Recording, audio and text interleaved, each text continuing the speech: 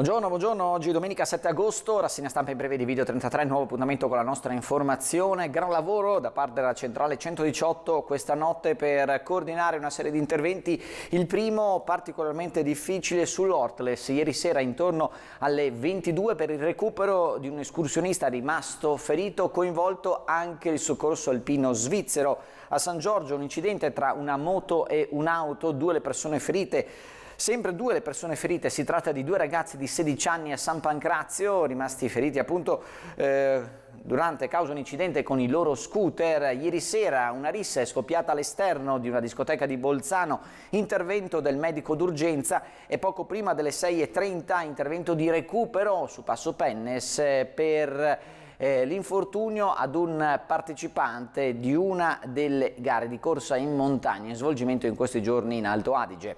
In regia abbiamo José Nunez con il suo aiuto diamo un'occhiata alle aperture dei quotidiani che troviamo oggi in edicola. L'Alto Adige dedica la sua prima pagina all'espansione del centro commerciale 20. Mercoledì si decide su altri 30.000 metri cubi. Traffico sui passi dolomitici, la fuga dall'asfalto con bici e funivie. Grande successo per la festa di Merano, assalto al centro con migliaia di visitatori. Negozianti cauti su via Torino pedonalizzata e ancora sui 4 milioni per Hofer tutti zitti, è la polemica, la polemica di eh, Antonio Lampis eh, riguardo l'inchiesta della Corte dei Conti sul progetto eh, Bolzano, capitale della cultura. Sfida tra go-kart in piazza, Widman batte i campioni di sci, tutto questo a Bressanone e per la politica la proposta dei Verdi ai consiglieri un tetto di 3.000 euro. La cronaca cura del Corriere dell'Alto Adige, urbanistica, la riforma in arrivo, le novità riguardano un verde più tutelato, la legge Benco rivista.